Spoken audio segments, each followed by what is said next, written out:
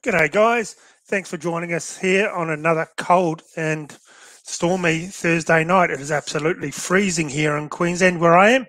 We just had a record low last night of one degrees. So thank you for joining us. And tonight we're going to be talking about a bit of maintenance, um, a few tools that are handy to have, and mainly stuff that's good to take away with you. You can chuck in your day pack while you're out hunting because you know you don't want to have your hunting trip finish uh, too soon when you're out there, and because something goes wrong, and you, you could have prevented by having a very simple toolkit. So I'll bring Jason in here. And g'day, Jason. How are you? What's happening, man? How you been? Right, Mate, that hair of yours is getting grayer every every week that I see you. I reckon. Haven't shaven for a week. I've been that busy, and uh, that's even going grey. Unbelievable. pushing fifty, mate. It'll happen to you. Hey, I'm not going bald though. yeah, mine's not looking too good. It's getting a bit patchy at almost forty, so I'm still yeah. in the thirties, mate. So I haven't hit the big forty yet. That's uh, next year. Oh, it all goes downhill. It all goes downhill at forty. But uh, yeah, it's been been a good week. I got out and did a couple of gun reviews. Did a 22 Magnum, a Lithgow, and I also did a oh, what's the other one? A Dickinson shotgun, straight pull shotgun in timber. I know you got the synthetic, but I got the timber one. Uh, it's going to be another review where things don't exactly work how it's meant to go. Uh, just like the Savage Axis, some everyone seemed to like with the screws falling out. So if you haven't seen, if you haven't seen that review, that's up. Um, yeah, the Savage Axis, two thumbs down from me. That was yeah. a 308. Didn't so seem that with the poor thing. The uh, what the, nah. the screws fell out of the stock. The action screws fell out. That's uh, not really ideal when you have a shot of it, but you know that's why you should always have some of the tools we're going to talk about. Definitely, as I just said, you don't want to be out hunting, and it's cut short because something that you could have fixed on the spot with um, a simple little toolkit. Yeah. So I'll read the first question from Patreon just before we get started because it comes back to last week. Don't forget to tell them to subscribe, man. You got to hit that button. Yeah, yeah. Subscribe to the channel, dudes. Um, it really does, and hit the thumbs up, and definitely subscribe. We're pushed. We've had last week we had record numbers of subscribers a couple of hundred in the week. So I was really happy. So make sure you subscribe to the channel if you're watching this. It's not hard. Just hit the button, hit the button down below, and the notification bell. And I'm putting out two to three videos every week on guns and gadgets and anything shooting related. So, I say it's just guys, just give him a thumbs up just for his grey hair. So yeah, exactly.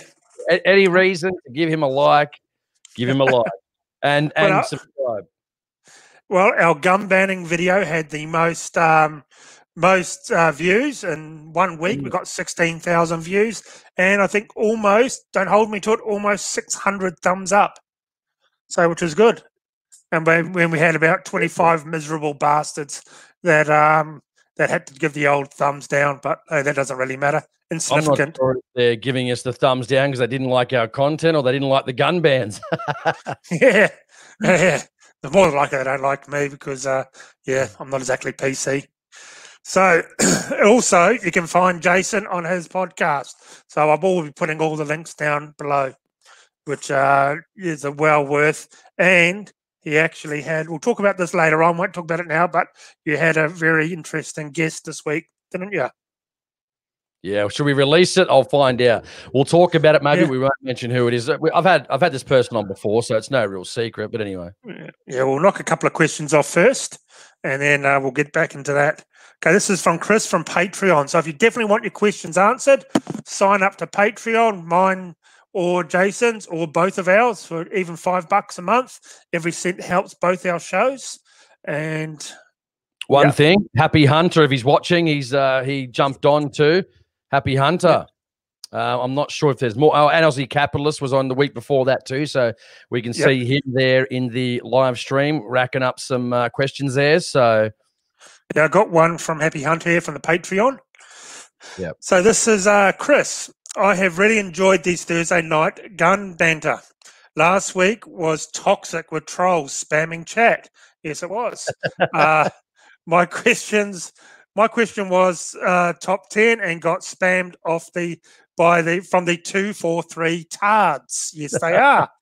Um, so uh, we fixed that problem because we banned, oh man, eight or nine people um, during the show and after the show for just being absolute tools.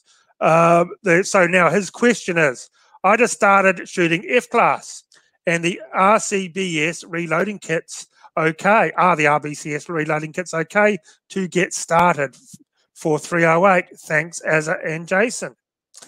Well, that's what I brought. My very first kit was one of those for reloading, and I still use it today. The press is absolute bomb proof. Yeah. I've got uh, the new, I've got the same brand as you, the RBCS. yeah, that's it. the RCBS. Anyway, yeah, no, they're good. I've got the the Rock Chucker. Um, really good kit, single press. I like to because I don't reload all that often, just when I need to. So it's best off for me to do the whole process, putting dies in, setting everything up, and just keeps your skills good too. If you're not reloading all the time, if you like Aaron, the you know the rich bastard, he's always pumping out you know ammo and loads and um, you know going shooting. So he probably does a lot more than me. So, but you know I like doing it, single press, set them up, good to go. Yep, and you'll see on our reloading video that I put out oh, a month or so ago my system of doing it. Where you get the basics in that kit, and then you just build from there. You'll get the electronic trimmer, you'll get the electronic scales for a powder dispenser. So you'll build on that. But the basic kit, fantastic. Could not recommend it more. Uh, Hornady also makes some good kits as well and some good gear. So I do like those. My friend just bought a Hornady kit and yeah, it works fine. But uh, definitely the uh, that press is bomb proof. Any of those good brands, you know, they'll work. I mean, you know, Hornady, yeah. RCBS, Lyman, they're all good. Yeah, yeah, exactly. Just make sure it's nice and solid. It's not going to twist or move.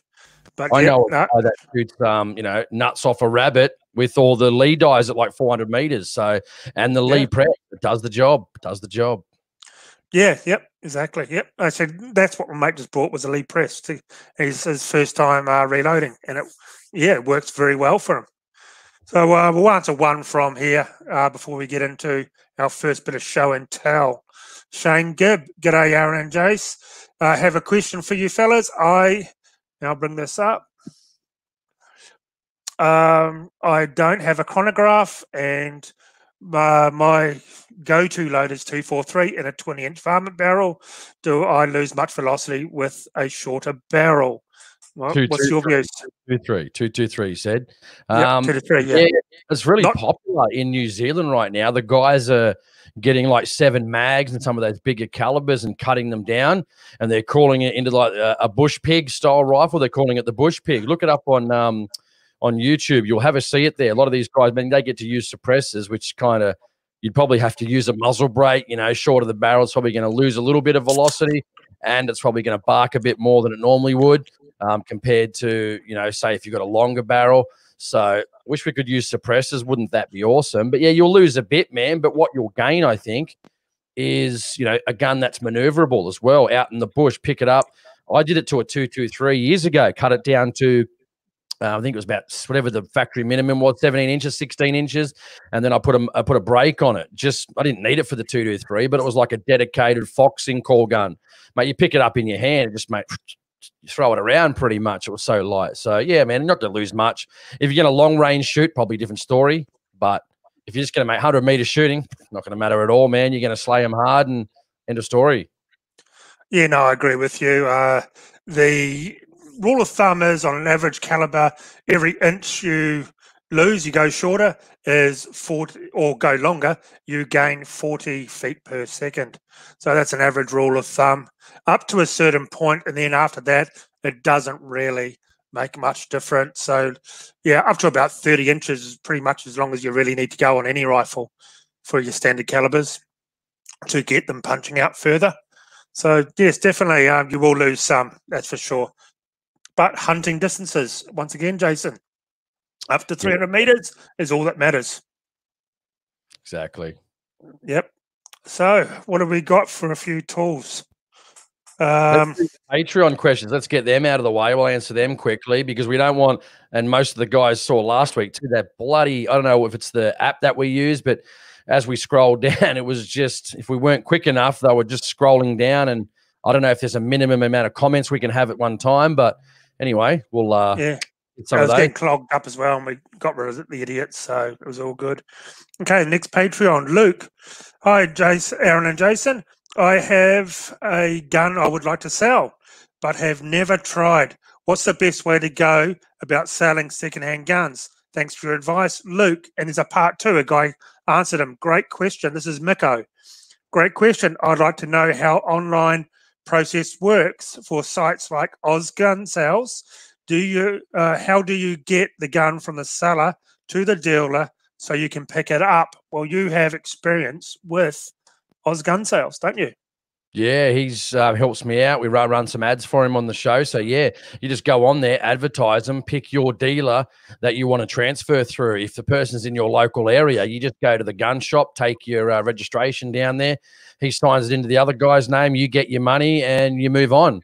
Um, if it's interstate, make sure you get your money first, obviously, and any shipping fees if that's what you agree to get that money into your bank account, send him an email saying that there's been a sale taking place, grab his details, grab your details, go to the gun shop, put his details down, where the gun's going to, which gun shop it's got, which dealer, and then that dealer will call that dealer, make sure it's all legit. Then the gun gets shipped to them. The, the buyer goes and picks it up, and done deal, man. So, I mean, Oz Gun Sales, um, Dave, he's a really good guy, really good guy, actually. You know, thinks some very much like me and Aaron. So if you are going to advertise, go to ozgunsales.com. Really nice guy and always been a supporter of mine. So, you know, there's other sites out there, of course, but, you know, and you most people probably know which ones they are. But if I had to pick one, it's him because, you know, he's been a good supporter. So can't, can't go wrong with him. And it's a great site. And, I've I've uh, had some. He's given me some free stuff so I could advertise, obviously, because the arrangement that we've got, and all my stuff is sold from that website. So if that's not good enough, I don't know what is. Yes, definitely. There's a couple others like used guns and that, but yeah, Dave at uh, Oz Guns is very good. But yeah, basically, you get your number as well, and you can negotiate a price sometimes and sort it out as well. And because uh, some people do want more information, they'll ask you a bit more. How many rounds has it had? And I find most you got used guns has only ever shot uh, 50 rounds. That's what they all seem to say. Brand new condition. yeah, exactly. Uh, so you definitely suss the, the gun out and maybe even ask for more pictures if you need them before you lay down your money as well. So next question is Happy Hunter. Hi Aaron, I've had my 223 Howa 1500 fitted with a Timney trigger. It has an extremely light trigger pull. When I get when I let other shooters use it, they complain about the lightness of the trigger, but can't can't give me a decent reason as to why. I personally love it and haven't missed a shot since I've had the have it installed. What is your take on that? And do you prefer a light or heavy trigger? Well, I use Timney triggers um, in my custom guns, and I swapped it out on my long distance rifle that I run at eight ounces. Basically, you sneeze at it and it's going to go off. But that is a lying down, dedicated long range one mile gun on my 300 rum. But yes, uh, I don't like them too light for the hunting rifles only because, and if you fall over or something and knock it, there's that chance that it could go off. But if you keep it around two pounds, it should be fine. And they are cleaner, nicer triggers than most factory triggers. So people are probably just not used to it or used to a lighter trigger. A lot of these triggers come quite heavy, and I think basically because uh, so if something goes wrong, like an accident, they can't get blamed for it. Look what happened to Remington, that massive recall. Excuse me, that massive recall they had. Yeah, because there's safety in the triggers. You got to you got to swap out. They they're paying to have all the triggers swapped out. Depends on the gun you get. Eh? It's just um, you know, I like a light trigger. If any gun that I'm just going to put on the ground and move like a long range gun, doesn't matter how light you put it because you're not walking around with it. Sometimes I've got that seven mil Magnum. I've made it just a little bit more because I don't want to, you know, any chance of it even thinking about going off or if you brush it against a tree or or a twig or something. Just don't need it. So make it a little bit heavier. But yeah, nothing worse than heavy triggers. You just don't know when they're going to go off. You jerk the trigger. Ugh, horrible. Ugh, horrible. But yeah. then again, some of the triggers on my guns are pretty good enough not to have to warrant, I think, going spending 600 bucks on an aftermarket trigger. So depends how what your gun you got. If you got a gun that's 500 bucks, it probably will absolutely help you. If you got a gun worth two grand, you may not need it, you know? So it depends. Yeah, definitely. I agree. I agree totally. So here we go. Miko, this is the last Patreon one for the night. What are your top three caliber picks for long range target shooting? Well, we are going to make a video on this one, but uh, yes, my top three would be 300 RUM, 6.5 PRC, and 308. All the guns you've got. exactly. Only buy the best. Listen, uh, if I pick one, or pick three, I'm going to pick one. I'm going to be the same, similar too.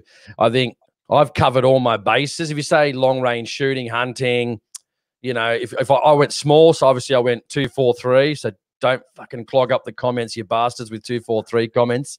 Um, then I went 260 Remington, and then I've got the 300 Win Mag. So I think that covers you know, pretty pretty good base of your low, uh, you know, low calibers to your high calibers, from small animals to big animals if you're hunting. So, you know, if I had my time over, I probably would have gone, you know, but they're not not in the country in that Bergara. I would have gone that 300 PRC. I reckon I would have gone that, but at the end of the day, man, 300 Win Mag is going to slice through anything in this country pretty much, unless you maybe go up north and you're shooting scrub balls. But even then, maybe good shooting with 200 plus grain bullets is going to be enough anyway. So, and your cost goes up. So, man, I'd say 300 PRC or 300 Win Mags, uh, one of the six five calibers, and then a 250 or a 243, mate, for your varmint, your long range varmints, or your just your general hunting. It's going to work for you.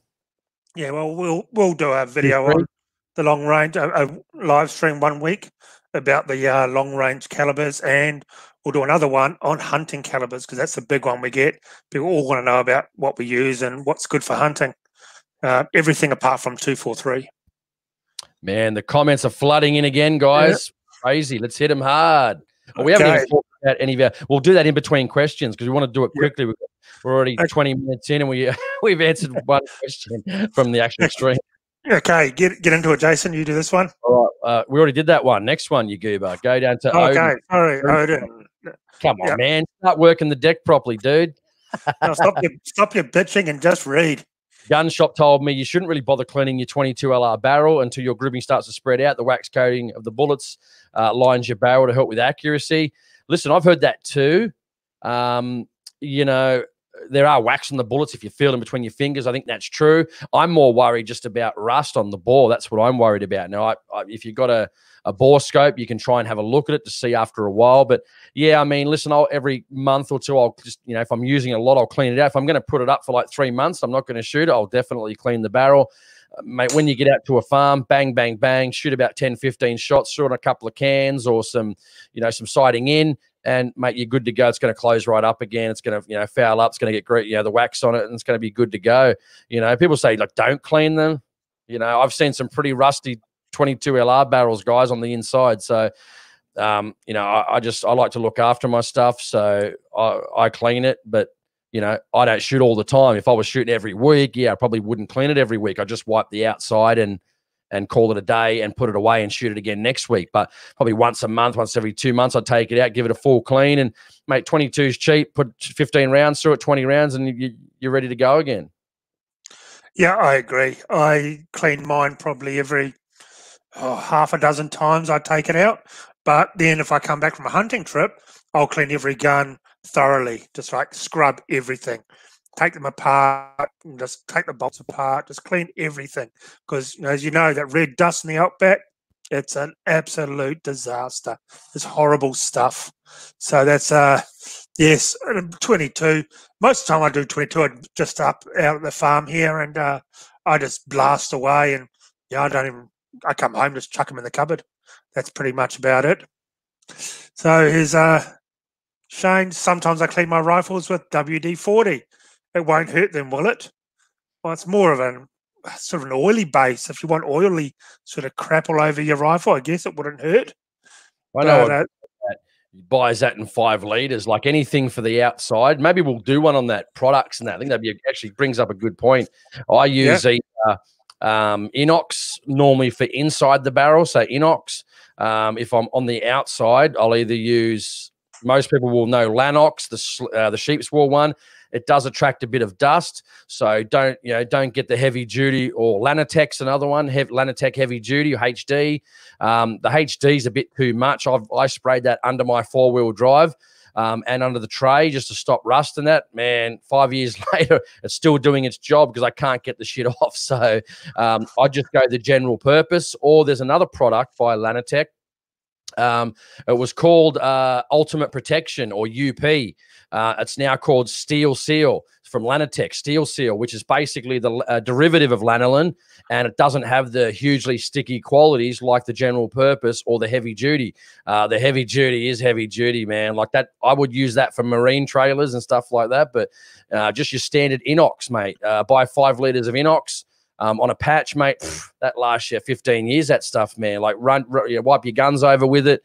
Um, normally, I use that Lanotec um, Ultimate Protection or the now called Steel Seal just on the outside. I use that on my four wheel drive. I use it on underneath on my leaf springs. Spray the you know the rails, the chassis rails in your car. Yeah, it gets dusty, but that's the whole point. It seals it out from moisture, so you don't have any rust. And um, spray it in your corners. You know, I'd really love a, a hoist, a car hoist, but I don't have any room for one. But I would get one if I could, so I could spray underneath my car. But yeah, man, couple of products there for you.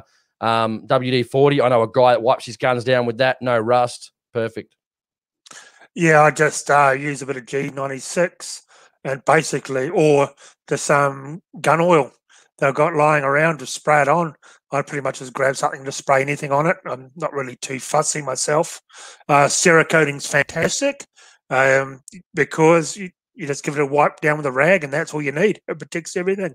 All you got to really clean is the bore. If you get a good Cerakoter, a certified one that knows what he's doing. And he will, and you ask him, he'll give you a price, and he'll Cerakote every nut and bolt inside that gun. Pull your, pull your whole bolt apart and spray every single part. Micro slick it, pull, do, coat every screw for you. So basically, all you do is wipe it down with a rag, a clean rag, and then clean the bore out, and you're away laughing. Uh, that adds money for 500, 600 bucks, depending uh, what you want Cerakoted and how, what sort of pattern, if it's a plain color, but that all goes up. So it's, um, yes, I'm not fussy. I'm not as fussy as what Jason is with cleaning his guns. He's really fussy. He just yep. chucks them in, doesn't care if they hit yep. each other. I've got every one of mine in a gun sock sitting in the safe, mate. So if they, uh, if I had a bigger safe, I wouldn't bother with that. But I've only got like a 14 gun, which is really like a seven, and I've got like nine. But anyway, good question yeah. there from Henry Smith there too. Yeah, well, um, yeah. Every time Jason comes up to my place and stays, he's just horrified. Absolutely, and, um, into my stomach with the way he just walks around my gun room, just like it, head in his hand, just doesn't know what to say. Yep. Okay. Yeah, mate. I've yeah. had this just a couple of weeks ago, which rarely happens for me. The best way to clean surface rust. Listen, depends how bad it is. Go to Bunnings. It's called four or steel wool. So four zero steel wool. It's in the paint section. Excuse me. Normally, what you'll do is you go straight into Bunnings the paint section is normally on the bottom, let near all your silicons and stuff like that. Four zero steel wool. It's like ultra fine. Don't worry, it's not going to hurt anything. Just don't press too hard. Obviously, it almost feels like cotton ball. So you rip a piece off, get a bit of gun oil, and just in your with your fingers, just start on the barrel slow. Wait until it comes off. You know what I mean? Um, that works for me. I mean, in my gun safe, I've got one of those um, golden rods so I drilled a hole in the side of my safe and I put the golden rod through. Then I put a connection. So that brings up the heat in the safe and pushes out the moisture. So my gun safe is generally about 45 to 60% humidity compared to say somewhere it can go to 80. So yeah, man, it works. Double four aught steel wool. Man, just take it easy on it. Make sure it's four aught. So zero, zero, zero, zero. It works good, man. Bit of gun oil. Off you go. WD 40, Inox, Lanox, gun oil, whatever. Done and you can use it to for tinder as well to start a fire when you're exactly. And also too, if you're going to um, so, yeah, I one question too. I was going to say, if you're going to, if it's really bad, you're not going to be able to get it off, man. Take it, get it sandblasted, and get it cerakoted. Yeah, yeah. You don't want it to get too bad because you will get pitting in the steel. Once it's pitted, it's not coming back from that. Uh, I use a bowl of rice in my big bank vault safe because you can't drill into it. The walls are like that thick, and I just put a bowl of rice, and every month I throw the bowl of rice out and put a new one in there, and it sucks all the moisture up because that is sealed. There's no drilling holes in that thing, as you've mm. seen. So we'll show a couple of things off. Um, something I, I, use basically on a daily basis as well is this real avid um, Pro Tool Max. This thing is just like a Leatherman. It's got all your stuff in it and oh, opens up. and this uh, has your pliers. It has. Oh no! This is real yeah. Avid as well. I didn't even know. It's real Avid. Look. Sweet. Didn't yep. even know. Is it one of these? Yeah, the real Avid gun tool. Here's me saying I've got a different yeah. one or a cheaper one. My mate gave me this as a present, actually. So has it got the um? Has it got the torch on it? Nah, I got like hooks. Got a few, you know, wrenches and stuff, like a few hex yep. keys and whatever stuff. Don't know what's in there. No, that's supposed to hold something like some connections, but it must have lost them somewhere. Yeah, man. Real Avid stuff's good. I've been using it today because I've been wiring up my house, um, new replacing lights and uh, wire cutter, removable. I cut fencing wire with it the other day, so it was good. So this works really well. It's got everything, 31 tools in it. Got your choke for all your different shotguns. You got your uh, carbon scrapers, beer bottle opener, uh, geez, what else? Yeah, decent knife. Yeah, cleaning hook. Uh, punches and, to get out your little, you know, to get out, you know, pins, action pins or whatever for like straight pulls and. Hmm. Yep, and it comes with, and get it to work. Your screwdriver comes out, and it comes with a whole heap in the sheath, double, double-sided uh, bits for everything you need for your scopes. This is good. I use it every day at work and around the house. And as you said, this one is awesome. I like it. This one comes with a torch that's actually magnetic and removable. I've used this a couple of times as well. So you can just uh, stick it on and use it as well. Um, it, uh, like I've used it on the side of my car when I've been trying to fix something. So it definitely does work. Yeah, these things are great absolutely great. I got here somewhere. I did. Uh, here for the handguns. The uh, uh, a Glock tool, but you can use it for all handguns. Most of these connections will work for um, all handguns. I've used this on my SIGs. That's pretty cool. It's a front sight tool removal. If you ever try to remove a front sight from a Glock, you know what a pain in the ass it is. All spring loaded, extremely light this goes with me everywhere in my pistol range bag. It's always good to have some tools, man. Exactly. So explosive. Hi, Aaron and Jace. I'd like to know how many times you can reuse the same brass when reloading 308 in his case. Well, I know guy that's on um, 20 firings at the moment, so it's not too bad. If you anneal, like you might get more. That's something I'm probably going to start looking at, especially if you get some of these like Aaron 6.5 PRC and stuff like that. You may want to get longer out of it, but you know, is it worth the extra time and money? You're probably going to pay four, five hundred dollars for a decent one, unless you can build one yourself. So, you know, it just yeah. depends. So, yeah, if it's something, I'd look at annealing too. You know, it's always good to get, you know, keep your brass in good nick. You know, shoot it until it splits. so, yeah. Yeah, I've oh, I buy three oh I wait I load up by like two thousand lots, and and I've only ever come across a couple of broken ones ever. I just keep reloading and keep resizing and reloading and resizing, and once they split, throw them out. I'm up to yeah, good. The batch I got now of two thousand, probably oh, a good ten to fifteen times without any problems. A three hundred rum, and that's a lot of powder and a lot of pressure. I've reloaded those oh, at least a dozen times, and I've only ever had one split case of the rum. You can use them for quite a bit. Some people reckon don't keep using them too much, like after five rounds, because of the uh, every time you resize it, you're thinning out the neck. But personally, I haven't had any problems, and um, I seem to hit everything that I point the gun at. So yeah, it's uh, just always keep an eye on it though, and you, a lot of times you can't tell when it is split, uh, especially pistol stuff as well, until you've actually cleaned it, and then you can uh, see where the cracks are. And always check at the end. I check about three or four times through the reloading process. Every time I handle it, I look at it. You know, when I reload it, I look about it, I spin it just to make sure there's no cracks anywhere. Just better, guys. You don't want shit to blow up in your face, guys. So take care. Um, oh, Aussie capitalist just cracked a beer and a cigar. Nice, oh, nice, nice. I've had a uh, haven't had a cigar for a while because um, I had a bit of a health scare and almost died about two weeks ago. Uh, massive attack. So Look, I haven't Neil, had any cigars. Hard work for us. Hit the like button, everyone. Nice one, Neil. Neil H. Yeah. yeah. Hit the Hit like button. Thank you, Neil. Uh, we should get Neil to do our PR for you. You should get Neil. We employ Neil to do your PR for you. I don't make any money out of the show. I'm going backwards financially. Uh, can't hire anyone. Everything's volunteer or bordering on slave labor. One of the two. Uh, here's Neil purchasing a 308 76 Remington with a scope red dot. What red dot should I put on it?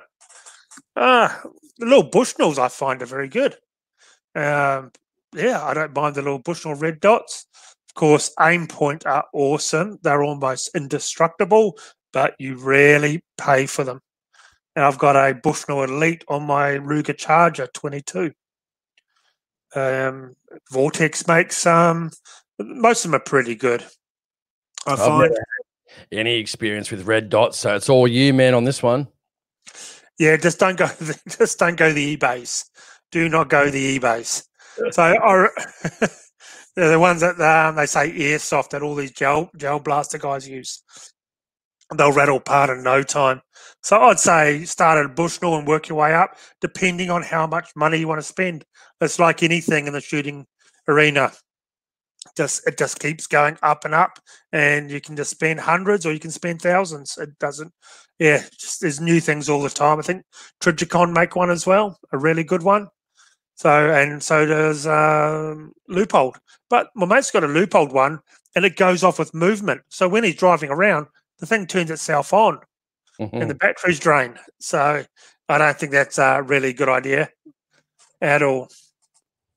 Uh, a few guys here love the RCBS, not the RBCS. Aaron's creating his new brand, RBCS. The yes, exactly. RCBS. you make one mis- you make one mistake and you never ever hear the end of it. hey, you made that mistake last week too, a week before. So I just thought you'd get it right this week, but I brought a Lee Lock uh, Challenger.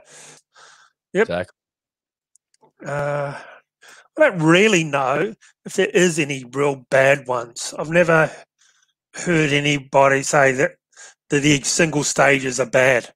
I've never, I've never experienced I mean, it. Lee's made to a price point, obviously, but man, like I said, I know guys that are shooting the nuts off rabbits at you know, crazy distances with cheap gear. I know one guy doesn't even have an electronic scale. He's got one, you know, small little hand Lee, Lee um, single stage press. He's got a balance beam scale, a trickler, uh, a cheap little um, what do they call them with the powder thrower, mate. It's a tiny little set, fits into a small bag, and he's reloading and shooting crazy like groups. It's just you don't have to have all the expensive gear. It just you can, but it's not necessary. I don't think. No, no, we uh, we're talking about this week. We well, when you come up next, uh, when the borders open, we're going to look at doing a review on your little Lee in the field kit because that actually does look like quite a good little system. Something I'm quite interested in. Because when you go to the range, you know, I normally take my loads there. I test them out. I go, that was pretty good. I go home, load more, and then come back again and pay the range fee next week and travel 45 minutes to get to the range. So I'm going to pack a little kit and I'm just because you've got like an area at my range to go and do some reloading. So I'll have the, all the brass ready to go. Primed and ready to go. All I've got to do is say, yeah, that was a good load. Bring my little scale, bring my trickler. Do, do, do. You got the Lee little powder cups where you can scoop the, the powder, put them in, work out which powder you got, trickle it up, put them in, seat the bullet with the little Lee hand primer, or sorry, hand, you know, little kit. Mate, bang, done. Go out there and shoot them again and go, yep, that's perfect. Put them over the chronograph and go, yep, that's a good load. Man, done. One sitting if you want. If you want to try some more, reload a few more, you know? Yeah, no, definitely. That's um, yeah, I'm really interested to see how that goes and actually having a go of it because that's something that I have been thinking of doing. I'm actually doing it with Gary from Browns Plains Firearms on Saturday, doing some load development with one of his big elephant guns. So I'll try and get a few things up on Instagram um, of that. He has some absolute massive bangers. Um, I think he's got a 416 as well. So we'll uh, be taking a few of those out on Saturday afternoon. We did we shot at night with them last time. Jesus, the fireballs! It was uh, yeah, pretty amazing stuff. Yeah. So we're going to do some load development in the field this Saturday afternoon. He's got a few bits and pieces he uses for that. So there you go, Jason. What are your thoughts on the six five Creedmoor in American Predator? Yeah, I don't know. They're the cheaper ones, if I'm correct. I'm not sure. Uh, um, uh, yep, they. I put them in the top five list of video that I put out of hunting rifles for under a thousand dollars, and they made I can't remember number three or something, four or three, yeah. but yeah, they're good. My thing is, like I said, just not just this particular brand, but yeah, just spend as much as you can afford, mate. If that if that if that's that gun, uh, perfect, go with it. If it's um, you know, you need to wait another month to get something a bit better do, do that. You know what I mean? Depends what your budget is, man. All comes down to don't be. Sometimes people, sometimes people are in a rush to, you know, get into shooting. You want to buy the first thing they see, which is good. Hey, I did that too. Don't worry, uh, plenty of times, and you know, you, you end up regretting some purchases. Sometimes, not saying you'll regret this one, but just you know, if that's what you want, that's what you that's what your budget allows. Go for it, mate. Go for it. But if your budget stretches further, wait a month or two and get something you know a bit better. But um, it'll do the job, mate. Good caliber, um, mate. You'll be you know hitting long range targets if you want. You'll be six five good BC bullets, Hornady, Sierra, off you go. Yeah, yeah, no, definitely. It's um, I've I've shot the it's basically a Ruger American. Um, but I think they do it up in camo and a couple of small changes.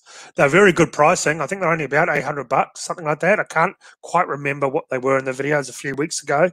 Um, but I have shot a couple of them and they work fine. The Predators, um, never had a problem with them. They okay, they're not real heavy. The stock is a bit tinny, thin, but hey, for an 800 $900 gun, not a problem really. Uh, I don't mind them at all, and I think the Predators come camouflaged or an OD green. So no, they're not bad.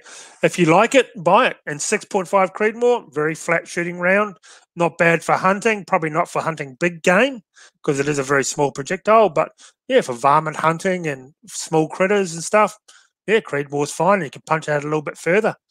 140s, um, man. You shoot 140s, that'll smash deer. What are you talking about?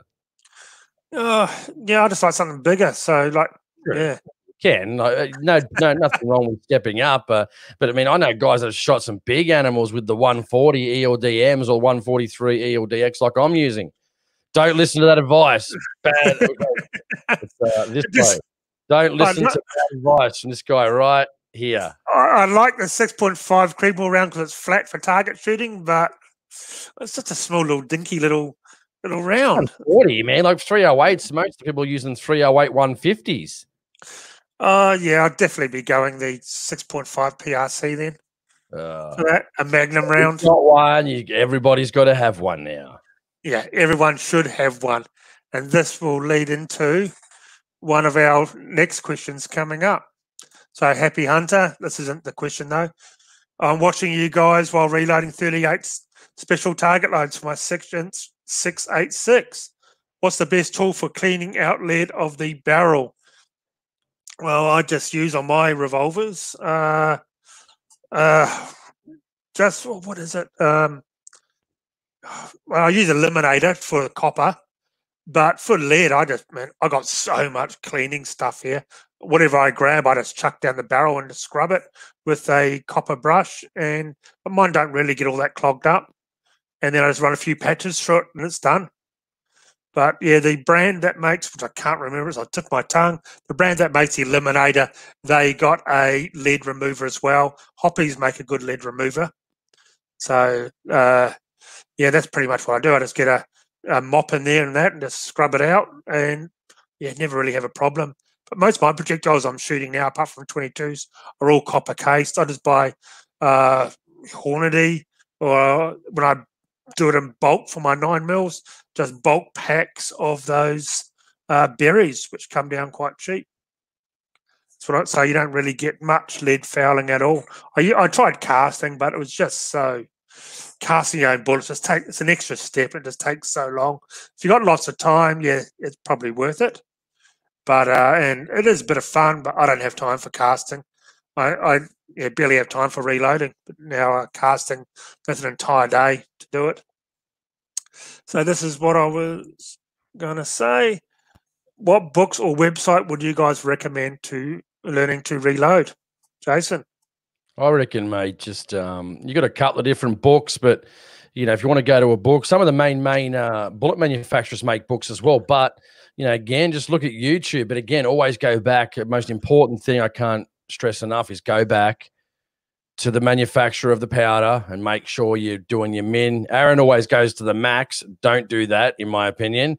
Right, start low, maybe go a little bit above the minimum, right, and then build. I, I, I, listen, I'll tell you why. I had the two four three. I was shooting the eighty seven grain VMAX, and I. Well, there's your problem. Two four three. I can't remember the exact load what it was, but I know it was two two oh nine, and I think it was forty one to forty four and a half. Man, I was blowing primers at 43 and a half. So, and the smoke coming out of the ejection port. I'm like, ooh, hang on. And there was a bit of marring on the bullet on the bolt face. So I'm thinking, well, that's not right. You know, what's going on here? Um, only to go back to one of their older books and it said something completely different. So, anyway, my point is just start low, check out your primers, see if you're not getting any cratering or they're flattening out and all that type of stuff. And just just just make sure you have a look. If you don't know what I'm talking about and you need photos, again, just type in you know, uh, reloading on YouTube, and then they'll run you through the process. It's pretty simple. There's you just got to make sure you charge properly, don't overcharge, make sure you're using the right powder, start low, don't go to max, and then once you get more experience, then you can you know tweak a few things. But yeah, just be careful, guys. You don't want to blow your hand off on the front of the foregrip when you're trying to shoot. So take your eyes out. Um, well, first thing you should be doing is going and looking at my reloading video because that is the only way you should be reloading because that's the way I do it. So definitely go look at my reloading video. Shameless. Jason me, yep, Jason and me did a live car, podcast on um on it as well. So a few videos back, I think we did one on reloading stuff. Just, uh, don't, yeah, just don't start from max max powder. Okay, now then start from max, and then no. go down go down five loads and half grain increments. That's what I do. Perfect. You'll find one that works. None of this minimum rubbish. Uh, you're not, not exactly, not exactly minimum, but you know, start maybe. You know, let's say you got 41 to 45. Start at say 42 and then go up from there. You know, yeah, you do want to get the higher speeds, but again, it's not absolutely necessary. You know, you need to be able to hit it. Doesn't matter how fast your bullet goes. Yeah, okay, gets there quicker, less affected by wind, but that at a distance, that's not going to be what okay. Uh, let's say I'm clicking and using my scope. Let's say it's uh five mils at 500. Okay, it might be 5.2 at 500. Boo hoo! Just dial 5.2. It's not that important to worry about speed, speed, speed. I say accuracy and a low a low standard deviation over speed any day of the week. Yeah, it is a very fine point. They got to be consistent. So you're consistent. Um, readings yeah. on the chronograph. Yeah, if it's That's not consistent, sure. And I'm having that trouble with the two four three, like I said last week with the 70 grain Sierra, it's not the fault. I don't know what it is, whether I don't have enough powder in the case, the bullet's too small, because I'm using the exact same powder charge for the 70 grain uh, 243 as I am for the 260, which is 42 and a half grains of 2209. So uh, one's a 140 grain bullet and one's a 70 grains. There's a lot more extra dead space within that case. So hopefully with the 87s, I can you know remove a little bit of that dead space, and maybe that's what's causing the issue. But we'll see. On my 3006, I do run a compressed load. So it's a maximum running 3,000 feet a second, and you can actually hear the powder crunching as you're putting in the projectile. But that is in the um, ADI book, and it says it's fine to use. If they say it's fine, it should be fine. Uh, always use the latest manuals as well, especially with ADI, uh, because from year to year, sometimes they do lower it. So as long as you keep it within what they say for that year, I think you're pretty much going to be covered. But uh, yeah, like most of the powders are made so you can't really double load them for the rifles. Very easy for pistols to double load them because they take hardly any powder whatsoever. So, uh, what should we go? What tool should I have in my range bag? Well, uh, let me go first. Make sure you've got like a, a wrench, a torque wrench. Very important, guys. You know, this is one piece of equipment that I use on action screws and especially on scopes to around 18 to 20 inch pounds, not 20 foot pounds, inch pounds on your scopes. And I check them all the time, guys, all the time, because sometimes they do come loose after shot, especially at around 18 to 20 inch pounds. Um, this one goes up to 60 inch pounds. Yeah, maybe 65 inch pounds. So perfect. And you've got all the connections. I bought this one years ago, actually, for my car. It was to take off a roof rack on the old Sierra, but this has got like all the connections. Like, what are they called? Like, some of them are called just like, yeah, hexes, these star ones. You've got, I don't know, I don't know what the terminology is, but see, they're all different, right? So there's about what, as you see at the top there, you got one, two, three, four, five different ones, right? So basically everything there that you need that you may come across that you might need depends on sometimes you get these weird you know little things you know make sure you have some allen keys in your bag small ones for your uh, your scope turrets and stuff like that if you need to zero a scope turret so make sure you have your very small little mini allen keys because i had one on last trip and i luckily my mate had one flukily had one otherwise i was like i couldn't even i couldn't even turn it beyond zero because i didn't have the thing so i would have been shooting way high so luckily he had one. So I should have one in the bag myself saying that. But yeah. Yeah, well, I uh, I have something like that. This is a pro tactical one, so it's nothing too fancy. But I've lost some, and it is a bit softer steel, so some is stripped. But it comes with everything you can imagine, even odd ones like things like this, um, and yeah, things for your bolts, sort of odd things like that. Yeah. So that, that's got me out of trouble a bit. And I always keep. Oh, look at this one. The hell is that? Like a yeah, yeah. this crap, you know. But hey, you never know when you might need it. I have used that once. I can't remember what. I think it was on some silly rifle, like an Adler or something. One like this. That's like a. It's not a. That's not oh, a yeah. Phillips head. It's just a weird but anyway, you never know when you might need them. I mean, I've got this one. This is a weird one too. Like, what's that? You know, but but you never know when you might need them. Handy for cars, and I think that set is about twenty bucks. You know, like something maybe thirty bucks. It's cheap. You know, you can probably buy it off eBay cheaper. But I know Aaron yeah. used to tell me that, that the, used to tell me he never he just do them hand hand tight his scopes. I'm like, no, I still, I still do. And then I Aaron, just sir, you need to buy one of these effectively immediately. Or you've got that one there you had. You need to start using it, you idiot. No, that's not a torque wrench. That's oh. a screwdriver. And I just keep. Yeah, I do need to get a torque wrench. I agree. I yeah. agree. Uh, I do carry just a whole heap of loose uh, Allen keys that I have lying around. Or Allen keys. Yep. Just a cheap one, some brand. I don't know what it's called. What, Grip well, probably from just Bunnings cheap. And what Jason said, you know, the real avid tools that he's got and I got, got all the hex keys here. Yeah, you're gonna here. need. Uh, one, one's a super cheap auto one, like a just SCA branded. You know, throw them in the bag. You never know when you might need them. Actually, I had one of those, and it all it all fell apart on me. I just got them all loose now it's probably better that it works better like that anyway because when you do this like it always seems to slip and it's just you know loose i reckon it's better just to take them off and probably use them as hand ones anyway yeah in my um, in my gun room, I have the complete set of torque, metric, and imperial uh, T handle ones. Big ones. I use yeah, I use those in the in my gun room. I use them working on cars and everything as well. Uh, the little Glock tool always handy at the pistol range. Just flicks out. It's got a few tools on there. I use this on my Sig P320 as well. Geez, that'd be uh, illegal, wouldn't it? Flick one like that, just popping out like that. Oh yeah, look at that. Yeah, little, little, screwdriver. Actually, I've got a review coming out tomorrow or the next day on some of this real avid stuff. So it's not bad. I've got a few more things here to show. But yeah, that's a, a few basic things for the range. But I will answer more questions and we'll show some more. We've got so, heaps there, dude. We need to hit these questions. We've got yeah. Well you done, guys. guys. You guys never never let us down.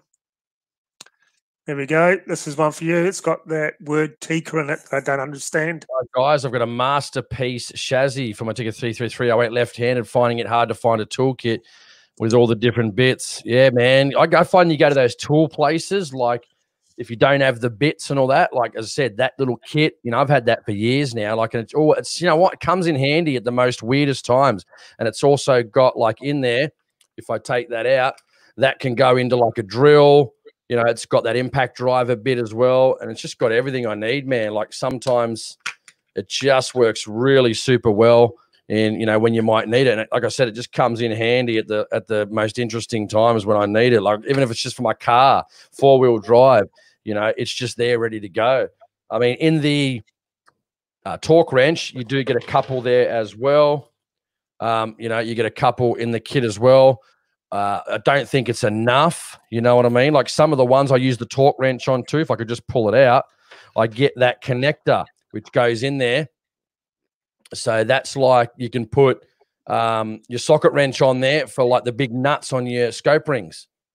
You know, so th- what three eighths or whatever it is ready to go. Just punch that in, same thing, straight in, and then you can just tighten up your scope rings if you've got the big big nuts on the scope ring bases, like your Nightforces, etc., and stuff like that, or your vortexes, or your or whichever you know, all the ones that we've got out there. So. So you're telling me I'm doing it wrong with my big rattle gun I use for work, just getting it in. Never buy a scope off Aaron if that's the case. Now that you've heard it. okay, here's something, and I've got something to show on this one. Funky Mark. Uh, can you guys re- recommend a set of punches for pistol and rifle? All I can find is Lyman. The best one I have found, and uh, there's a review coming out on this, is the Real Avid. I tell you what, I've always come back to Real Avid. They do make some great stuff. So you got there'll be a, a review. I've just filmed the review for this. So you got all your punch, a bit hard to show, but you got all your punches here, and what I like about this brass, rubber, you can screw these off and replace them with um, like a plastic one if you want a plastic end or a stainless steel end. So, or a steel one. Me. You should send that down to me. yeah, I might get you one for a present if you're lucky for your birthday. But um, well, you had my birthday. I didn't receive one. Oh, that's right. Yeah, and I forgot about it.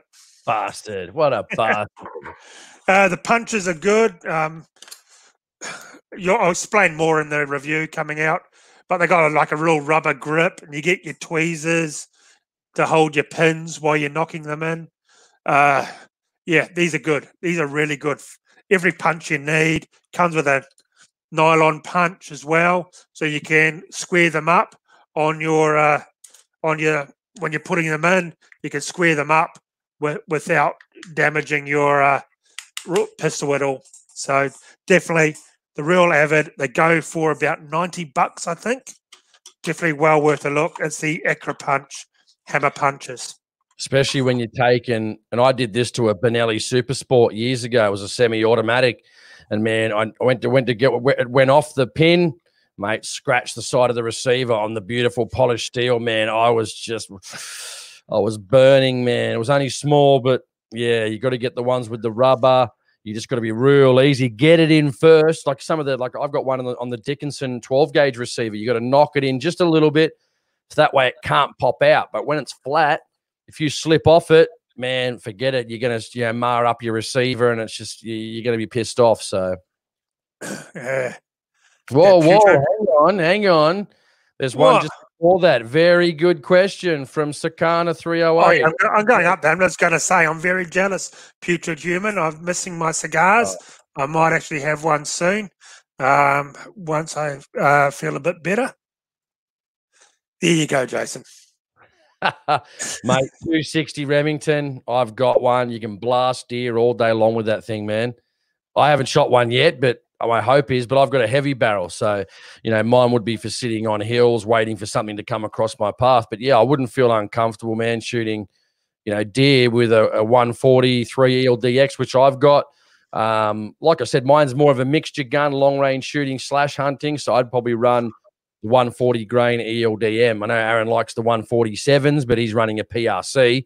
So really good BC on the 143s, the 140s, and the 147s from Hornady. So uh, that's all I buy these days. Pretty much Hornady ELDMs or ELDXs or VMAXs. Make good price, can't go wrong. Or Sierra, they're pretty good too. Yeah, there's other companies as well as that make really good stuff too. But you know, I don't know. I just stick with one thing, and I buy the one company for some reason. I don't know. I just I'm a bit uh, OCD like that. So yeah, I've always had good luck with Remington. Not with Remington, uh, with Hornady. Hornady has just never let me down. Target, I like using Sierra um, with a lot of stuff as well. But yeah, run of the mill stuff, Hornady has never ever let me down with my hunting and my long range and my mid range target shooting. So yeah, just love it. Absolutely love it. The Hornady stuff. Here we go. Of cleaning. What do you think of G96? I think it's good. I, I've run it. Um, just ran out not long ago, but to get some more. But yeah, it seems to work. That's stuff that uh that you just spray on the outside of your gun as well, and it protects it, but it doesn't go all oily and sticky, which is really good.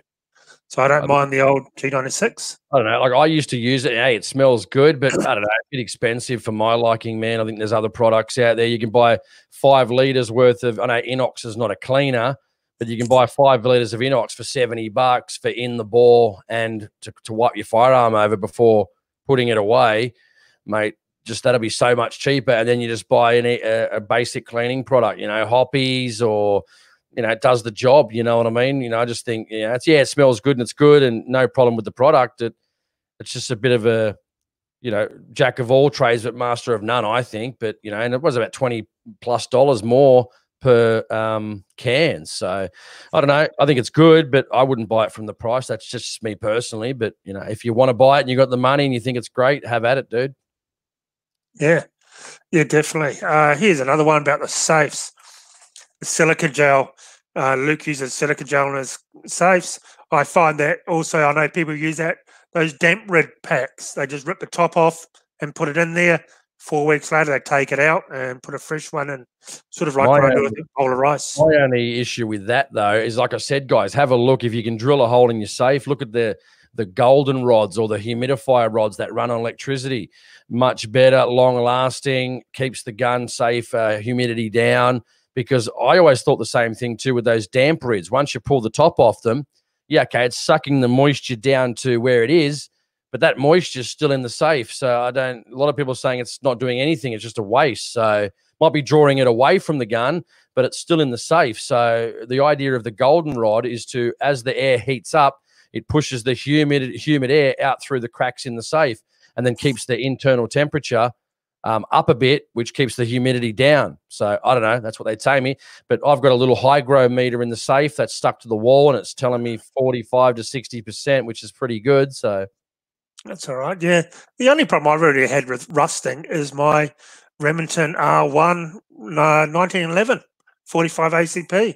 That used to rust like a bitch before I started putting rice and all sorts of things I tried out in there. I couldn't believe it. It rust like almost overnight. It got so bad I had to pull the whole gun apart and scrub and clean everything, and it was on the verge of pitting. That's one gun I am going to get Cerakoted, but I really want to get it that uh, titanium gold finish. So it's all gold, shiny gold on my like 1911. I'd keep them. I mean, like Mike says up here about WD 40 only lasting um, two to three months. You're probably yeah, you're probably right on that. But again, if you're yeah, applying regularly, you know, it's not too bad. And and don't forget, guys, don't forget to neglect, you know, at least once a year. This is where I use the heavy duty stuff. Take your stock off. It's only two action screws. Get get like a paintbrush, like a cheap, you know, a good one, a decent one, $10 one, so it's nice and soft. And I spray it with like Inox or Lanox, and then I just I basically almost painting the stuff on, so to speak, you know, getting in all the nooks and crannies um, when you pull the stock off areas you can't get to. And then I give it a wipe down with a, a, a, oily rag that I use that's just like drenched with Inox or similar that sits in a Ziploc bag. Put the stock back on because people don't take their stocks off and then they go wipe their gun down and they go, oh, that's it. And then they take it off three years later and they go, oh shit, underneath it's completely like rusted and pitted. So take them off once a year, give them a good clean, give them a wipe down and don't touch that. Have a rubber glove or something, hold the barrel, put them back on, and don't touch that surface while you put the stock, uh, sorry, the action back in and then barrel into back end of the stock so you don't touch it. Otherwise, again, fingerprints will rust and all that. So don't forget to do that. Yeah, and people with red hair or ginger hair, gingers, apparently they their guns rust like no tomorrow. Just something in their their sweat of their hands. That's uh, what I've heard. I don't know if it's true, but that's what. Yeah, must be because they have no soul. That's from um, South Park. Um, g'day, Kung Fu Chef. Um, chef. chef, yep. um, you might be a chef. Uh, hello, dude. Just popping in before I go to bed in California. Welcome. A whole category of firearm was banned in a midnight session without legislation. We are slowly becoming Australia yeah, we talked all about the bans and the big ban that happened here a week and a half ago. Uh, yeah, it's getting pretty bad, but hey, at least you can have uh, semi-autos over there, and we can't. We would still like to have Californian uh, gun laws in Australia. That'll be awesome. Yeah, I mean, yep. yeah, shit tons better than what we've got now. There we go. Tacked onto a budget bill. Pathetic. Fucking Democrats. Just as bad as, well, all of our government, really. All our governments are the same.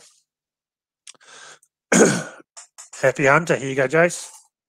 Yeah, Hornady wet tumbler for brass so shiny you could use a mirror. I'll never use a dry tumbler again. Agreed, man. They come out yep. almost like fun to watch them come out if you put the right amount of citric acid or burnishing compound. Man, they just come out looking fantastic. Look like brand new. Who doesn't love that? Who doesn't love the nice shiny brass? I do. Yeah, well, Jason, you put me onto the wet tumbler after all these years, told me to go get one, I did, and I will never, ever look back. It is definitely the way to go. It's amazing how much crap comes out of them. The water's just black after a few hours.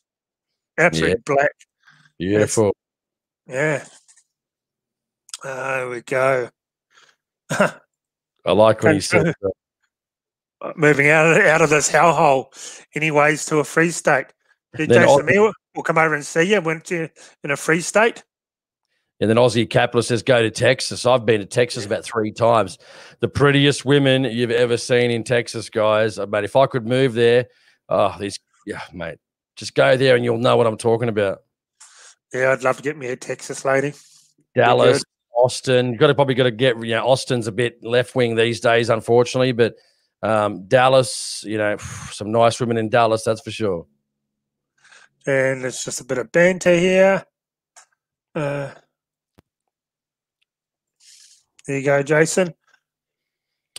RCBS have some good series of clips for intro to reloading. Yes, they do. Yeah, I was actually looking into them just a couple of weeks ago because I, I, forgot myself and I did some reloading again. How to set up my uh, my uh, full length resizing die just off, and I just couldn't went blank. So jumped on there and I think I looked at the RCBS one how to set up your uh, resizing die. So because I remember when I forgot to do it, I put my 260 Remington brass through it and they absolutely stuffed two of the brass before I even start at like 70 or 80 or 80 85 dollars for 50. So I was not a happy camper about that. Yes, I uh, don't blame you. Don't blame you. Uh, okay. Well, I'll show one other thing that you were talking about this week, Jason, as well with me. You want to get a trigger pull. I use this all the time. Oh, had to outdo me. Had to. the only reason I said I wanted your one, but what happened was when he went to the shop, he didn't have the he didn't have that one. So I said, Oh yep. mate, I need one. So I got the electronic one with um, you know, because I just wanted to see what the you know, I want to keep consistent, especially those long range guns, even between different brands, you know, keeping it so I know what the triggers are doing on each gun, and they're and they're going to be pretty similar, hopefully. So I've tried it the other week and it worked pretty well. So um, yeah, it's good. So I'll just keep that. I'll take that down with me when I go on my trip in a couple of, you know, probably a month, a month or so when I'm going. I think so. We'll see how we go. How much was that one? I think it was. I got it for about 130, maybe something like that. Maybe right. That was about. That was about um, 50 bucks, I think. No, that's yeah. not bad. 130. They're closer to like 200. Yeah, that's really good. Yeah, I might look at getting one of those. I feel inferior now. Just got the old you manual. inferior, sir. You are. this this does work really well, but that would I dare say would be more accurate. No, I do like that, and I find it very handy because I use adjustable triggers at Timney's in my target rifles, and it's just always good to check them. I'm going to actually um, make a couple a bit heavier soon, just because they are a little bit too light. So it's easy to do a uh, bad, a bad, um, you know, just knock it and it can go off. That's something I'm always paranoid about, as we talked about. Callum, what's the story with Sierra, Sierra pills compared to Speer or Hornady? They seem dearer. Uh, I use them for target Sierra. They are a bit dearer, but they're very, very, very accurate stuff. Uh, I I don't know the F class people are probably going to shoot me here, but I find them just as good as any Berger. I think they are fantastic. And my 300 RUM, man, just they're amazing. I've got some to load into the PRC as well to give them a go. I but, used at the Hornady, never had any trouble. But then I know a couple of guys that are using, especially for hunting, the Speer bullets as well. So the Speer are a lot cheaper um, you know, for 100 meter shooting, it's going to probably do the job. But again, if I'm going to step up that long range hunting and shooting, I need something that's, um, you know, not guaranteed, but you know, got some history behind it that it's proven to work. So um, I'm not saying they don't have that, but you know, I know guys that are shooting some 308, 150s, and 165s. I think soft points, mate, stops deer stone and stone dead in their tracks. So don't feel like you have to go expensive. You know, if you're not shooting a gun that often, I'd probably go expensive as your hunting gun. You might put 10 rounds through it a year. A box of bullets is $80 or $70 for a heavy caliber. Mate, you probably, I've got a 200 of the 7 mil Rem mag. You probably go through that in about eight years. So if I'm lucky. So you, you can afford to buy it. It's the ones you shoot a lot that going to cost you more. Anyway. Yeah, yeah. Hornady once again. I haven't really had much to do with Speer. Never really used them, but yeah, I've just always found Hornady work well. And for my target, I have Sierra, uh, for my 308 and my uh, 300 RUM, just something that I used, tried out years ago, and just stuck with it. They just seem to have worked really well. Uh, okay. He's upset. We're uh, being told off. Hello, okay, Jay Rush. Hello, Jay Hello. Rush. Welcome to the live stream. We really appreciate your attendance. We value your attendance, and I hope this shout out acknowledges your existence on the live stream. So, welcome. Yeah, we do try and say hello to everyone, but we get so, so many questions, and we only try and keep this around an hour and a half. Normally, it goes a little bit longer, just so you guys don't get too bored with it. And man, we've got hundreds of questions on here hundreds. Um, so we are thinking. I do read them all, and I'm, I'm I am appreciative of it all. So yes, definitely. Uh, what do we have here? I was watching Hickok 45 and just ended up placing an order 3K though. Uh, hurt the wallet quite a bit. What did you order? Yeah. Tell us no? what you ordered, dude. We want to know what you ordered for 3K. Oh, sorry, sorry. Up above. Yeah. Uh, maybe it is an STI 2011. Ooh. What caliber? Tell us what caliber A, A B, C, D. Um, yes, I take it you probably do a bit of IPSC or something along those lines. 2011s are just an updated, more sort of futuristic sort of look, uh, 1911. So uh, very nice STIs, nothing wrong with them at all. nice guns. I've used a lot of them in the past when I used to do competitions. Okay, so yeah, three grand. That sounds about price. Um, okay, and here we go. Um, don't get it in 38 super. Uh, not at all. Too too bloody weak. Go nine mil. Um, if you want to stay underneath the high cal for our pistol limits here, go the nine mil over 38 super any day. So I find when I was doing IPSC, a lot of them use 38 super or stuff like that and really um, downloaded everything. It was just like nothing, just chuck full loads in them and learn how to shoot with full loads. I reckon's a must because it gets you a lot more accurate faster. You've got to learn with actually with some decent uh, full loads with pistols. I find, uh, yeah, because then you're not. Yeah, I'm just not a fan of downloading pistol rounds at all. Okay, can you see anything here you want to answer, Jace? Just that rod one about five or six down. Rod Sweet Star. That's a good one for you. Yeah. Can you explain compressed loads? or is it self-explanatory? I heard do not compress trail boss. Sorry. Well, trail boss is yeah, I don't know much about it. It's very fine flakes, like donuts, very fine flake, like fish food, really. It looks like, and uh, you can just fill an entire case up, and it's still subsonic with that stuff. It's um, mainly for cowboy action, I think. But compressed loads is just a load that's pretty much full and the projectile sits on it and there's less gas or basically no gas behind it. So they reckon you get more accuracy out of it because there's no gas going in behind the projectile that could uh, push it off off whack. I don't know if that's true. I just have a compressed load for my 3006 because uh, it goes 3,000 feet a second and it is um, and it works really well. It works so well for me. I get really good groups with it, and up to 300 meters, I whatever I pointed at, it pretty much just goes there. It's so flat, being being a compressed load. Have you you you don't and you don't agree with that, do you, Jason? Perfect answer, my friend. Perfect. Yes, your your silence says it all. so many good guys are talking and having a good time in the, the chat, which is good. Here we go. Go down a few. Callum Henderson. That's a good one. Callum, yep.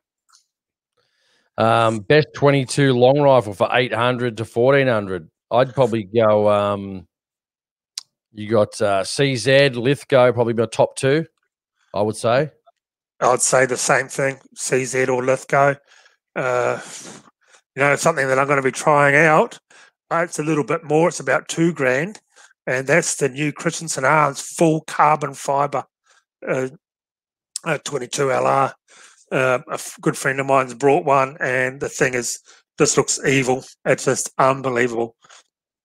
So that, but that is about two grand though. Well, but yeah, shoots or whatever as well. If you want to go step up again, or yeah, you can see the Anschutz video I made. That's um, from uh, the reviews up, uh, and geez, I was getting three mil groups with um, high end ammunition. That Ann Schultz was amazing. I used to know one guy ages ago. I think when when I'm pretty sure Winchester made the TOZ, man, it was about 10 years ago. He used to just slay everything with that TOZ 22. I think it was Russian or Winchester made one, but then they went to Russia, I think, if I'm correct. I'm not 100% sure. But man, that thing was a, uh, just a, you know, his was the actual TOZ, where my other mates was the, I think, the former Winchester version. But even the Russian one or the TOZ, the non Winchester version, man, that thing used to slay foxes, rabbits. Man, used to pull off some shots with that thing. It was about 350 bucks back then, 400 bucks. Yeah, I've actually got a good video coming up soon. I'm going to film. I'm not going to say what it is all about, but uh, yeah, it's on a very cheap 22 and it could turn a few heads. And you don't have to bust the bank. Well, I put that one out on the Norinco uh, two days ago, $300 plinker mate, perfect. It's basically a CZ copy for 300 bucks. I know it's Chinese and we don't like Chinese right now because of the Wuhan flu, but hey, it's not a bad gun for 300 bucks. Nice mm. timber work and checkering on it for, for that price as well. My mate had a um, one of the yeah the seven the notorious the 17 HMRs are generally notorious sometimes for not either ejecting or have feeding problems. So my mate had one like that and just yeah he had to get rid of it because it just wasn't working properly. yeah, I, I only uh, just looked at did a first look at it in the shop, but I made a video. I didn't actually uh, take it out and shoot it. Okay, where can where can I buy a CZ seventy five magazine? Oh, wouldn't have a clue.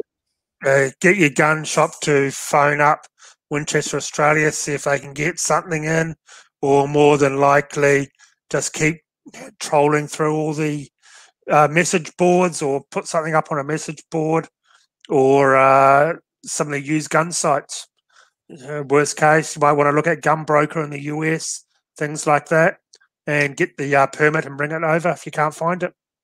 Yeah, I wanted to get a uh, I got a CZ four five seven in that MDT chassis, and I wanted to get this. Only one company I found made the top rail for it, like perfectly cut out to the action. Screw it down. Um, I know Aaron gave me one of the Adler uh, top rails for it. I appreciate Aaron for giving it to me, but you know, just looked like a bit of an abortion. Um, so I got my friend um, uh, from he makes YouTube videos. Should I give him a plug or should I give him a plug or no? Yeah, go for it. Yeah, so he's chucking TV, a friend of mine. So I got it sent to him, and then he's uh he's already got to him in about a week, and then he's already shipped it to me. It's only a, it's not a firearms part or anything, so no nothing needed for that to come through. Um, yeah, it's like 35 bucks and it's just going to, I think it's going to perform well. So, you know, sometimes look overseas. If you, depends on what it is, you might need a B709A form for your registry, but you know, most things don't, like you know, stocks and scopes, and I don't think they need it. So I think only when it comes to maybe bullets, you probably do. Um, but again, just check with your registry what you need, ring them up, you know, and just get it sent over if you don't can't yeah. find it here. Yeah, definitely. I would never, excuse me, I would never bring in a scope or anything, just too risky. If something goes wrong with it, no one in Australia is going to cover the warranty if you bought it overseas. You'd have to send well, it back. You had some issues before um, when you had the uh, one of the vortexes. Did they did they ask for a receipt when you had it, or they just took it and said okay? Um, uh, what happened? Yeah, they could find me on. Oh, well, I bought it from the importer years and years and years ago. So they just looked at they looked up my they, looked up my business name and receipt. Yeah, but if you if if you sold it to me, for example, it's third hand and it's a transferable warranty. If you don't have the receipt, then how do you know? You just got to take it to them and say, "Mate, I I bought I got this second, third hand. I don't have a receipt. There should be a transferable warranty, wouldn't it?" It should be, yeah, yeah. And they, you, they wouldn't have a receipt. Yeah, and then you um, they'll swap it over. I think what it was, um, they stopped making that model, and I had to go to the next model up, and I had to pay the difference. That's something they don't tell you about but I had to pay the difference on it. Which is not really a replacement warranty when you think about it, but anyway. No, no, I'm sure it's in the fine print somewhere. There's one for you, Jason. I'll find a few more questions. All right, I polished my brass with uh, mother's fine car polish. How did it come out? Um, sometimes the way I used to do it, especially on the outside, was when I have yeah the little nut you put in the drill and you put the brass in there and you tighten it up. It's actually Lee make the kit. Uh, it comes with one of the trimmers. And I used to just get that green Scotch Brite steel wool, put it on my drill, zzz, spin it, and then hold the um, what do they call it? The st- not the steel wool, but the green Scotch Brite pad over it, slide it up and down, and yeah, all of a sudden, mate, it was brass was nice and shiny. It looked a little bit scratched, but not really. It was still worked. So it just took a lot of that stuff off the neck and the shoulder, and yeah, it come out really good. So, you know, you don't have to have a tumbler, but you can buy those ones off eFleabay, which me and Aaron did, I think, for 100 bucks, 120. Um, yeah. There's a company, I think it's Aussie Sapphire, and they sell the pins and the burnishing compound. But you can also get citric acid. Just I'm, you can buy it from Woolworths, but it comes too small. So I'm probably going to buy one just off one of the websites that says um, you can buy like a kilo of the stuff for like 14 bucks or something. So I might do that. But I did find uh, any form of moisture in the air will set that citric acid off into one big hard lump. As oh, well, really? I found, yeah, because the little ones I brought have, um, yeah, have, yeah, pretty much stuffed. Mm. So it seemed, yeah, I don't think because I just keep them, I just keep it down in my shed, so it does get a bit sort of damp down there. Uh, well, here's something I was actually talking to Marty. As you know, Marty I used to do the show with. He's now the sales rep for Winchester, and they do CZ. And we're talking about these lever releases today. Um, well, hey, by the way, I forgot to mention one better you, you, didn't notice, did you? That's a super chat. We've got our first super chat. Can't you see it? Two dollars ninety nine. Have a look at it, dude. Oh, where? Where? It's under his name. Uh, look at his name. Look under his name where you've actually clicked on the. You've clicked on his comment. It says two dollars ninety nine. Well, Paul. Yeah, have a look at it. Can't you see it? I can see it. No, it doesn't come up. Well, I'm not looking at the website, the YouTube channel. Yeah, neither am I. But it's if you look at where's the comment that you clicked on to bring it up? Right here. Okay, look at it. It's there when you. It's there. If you're if it's in the right hand side column pane, you can see it on his name. It says Paul Giannane, uh, a two dollars ninety nine, and it's in on my one. It's in um, blue, so it's showing a super chat. So it's our first one, three dollars. Fuck yeah! Oh, thank you so much. Thank you so much, Paul. Uh, I'm so sorry. It doesn't say it on mine. I just can't see it. I'll yeah, have to look into this. Does on mine. Yeah. Uh, oh, thank you so much, Paul. Really, really appreciate it. Uh, that's awesome. So, guys, yeah, feel free to donate to the show because um, everything helps to buy ammo to make these gun reviews.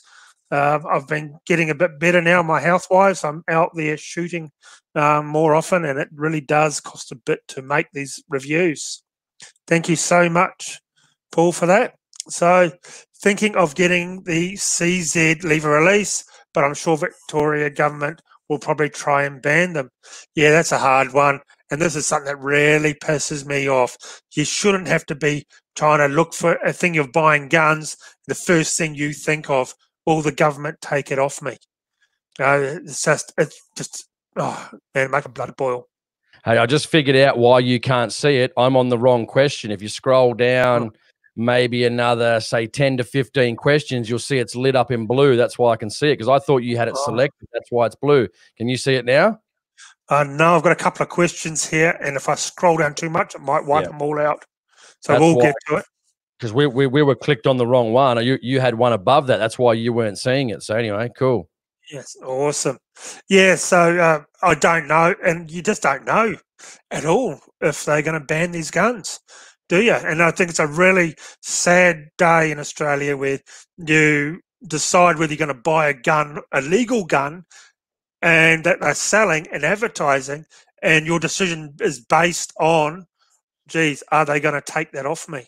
And with um, in a couple of months' time, I think it's an absolute yeah, disgrace. The cops love it. They they they love that. You people, the powers to be who do it. I think they actually get off on that. Oh, look at this. We'll just wait to a whole heap sold, and then bang, we'll reclassify it. Just a little yeah, bit look. of a power power trip. There it is. Um, Paul, it's the blue one. Uh, so you can see it, see it come up in blue writing. Our oh, first we'll one. Nice. Sweet. I got hundreds of comments, so it does take a little bit to get through. Thank you so much, Paul. Yep. Once I always say people who watch the show are the best people. Yeah, absolutely love um, hearing from you guys as well. When you scroll down, you should probably see it anyway. So you're about to get there. Uh, there you go. I did a review on the, a gun just like this. Uh, Best 22 Brno Model 2. Mine is 1957. Very nice. You can't beat some of those old 22s, can you? Ah, man, some of them are still shooting really good. Um, what do we got there? Uh, you, oh, here we go. That's the one. Yeah. Hey. Thank you. Thank you very much, Paul. Yep, every cent helps. Um, I know things are hard and tight for people um, in this these awful times, but thank you so much, Paul. Really appreciate it. Our very first one. You will go down in history with Shooting Stuff Australia. That's awesome. We might even get that printed. Hang on, I'll get a picture of this right now. Let me let me I'll just got that. Smile, ready? Smile, smile into the camera. Right, I just did it. There we go. So now you can um that can go on his mantelpiece. Yeah. Uh, okay. Uh, yes. Um, and my thoughts on it. Awesome. I like the technical looking one. I think they're awesome. they're going to be good. Um, a mate of mine has brought one, so I cannot wait to get out and give it a go. Uh, they look fantastic. They really do. Uh, so the sales rep Marty was saying how good they are, and they've been a huge seller. They really have. They've been a massive seller for them. I think 90 minutes the first uh, they brought in sold out and they should be here. So unfortunately, if you order one now, you're going to be further down the list, closer to the end of the year when they come in. He said because they're going to be sea freighted. The next ones, the first batch was air freighted. You just got another super chat. Oh, geez, I want to go down, but know, I'll get down there. We'll, we'll knock some of these on. Hang uh, on, if you go to the top, I see on the top of your chat. See how it says the top five bucks. Ah, Click on that. Okay. I don't know. Is that going to work? Click on that possibly. Okay, I've clicked on that. Oh, it just comes up. We don't know uh, what super chats, guys. We got no idea, so we'll try and figure that out. Yeah, yeah we shoot guns. We're not very good at computers. That was uh, from uh, X Explosive Bergara yes. HMR operator. Sweet. I'd like to know how his Bergara's going. Yeah, I haven't shot mine yet, guys. Hopefully, in uh, yeah, when I get yeah, yeah, one of the live streams probably soon. Maybe I'm not going to be. I'm not going to be here, so I'll let you know when I come back. So Aaron will be going solo on that one. Yeah, when's that happening? I don't know. Maybe about three, four weeks. We'll see. Just for the okay. weekend. Uh, Paul, um, here we go. Nick Taylor. Um, I have a CZ on order from all accounts. They are excellent, and he is correct about that. Um, and once again, here we go. What bullshit. The government takes away guns in categories which are licensed and permitted. Uh, yeah, it's just awful. And it just pisses me off, pisses everyone off, I think. And we talked about this. Oh, and another one. 10 bucks now coming through from Happy oh, Hunter. Sweet. And there's explosive. You guys are amazing. Oh, awesome. Awesome. Thank you very much. I can go buy some new shoes tomorrow. it helps with the reviews and stuff like that. It's it does. It does. Yep. You know? Every everything I get. All right. And another ten dollar. Oh, Jesus. Oh, shit me dead. Oh, we awesome. gotta start, we, we got to start screenshotting these and put these behind the um put them back on the wall behind you for the next show. put oh, them out. I think so. I think so. Oh yeah, that's awesome. Thank you, Phantom HD, a ten dollar. Keep them coming. That is awesome, guys. They'll definitely go towards the new reviews I'm doing. We've actually got a very special gun. It's a shotgun coming out very soon that everyone's been asking after. So you guys are going to really like it. So that, too, even if you click on that price at the top, it should bring up the comment of what they're saying. Just click on it once, and it should yep. bring up the box. Does it? Yeah, Phantom, love loving the show. Thank you very much. Yeah, Happy Hunter. And Happy Hunter. Uh, I'm in the show's biggest fanboys. I'm the show's biggest fanboys. Oh no, he's, uh, he's called out Paul. He wants to be the number one fan. started with Paul. Now they're just competing. Nice. Oh, we've started a war. Nice.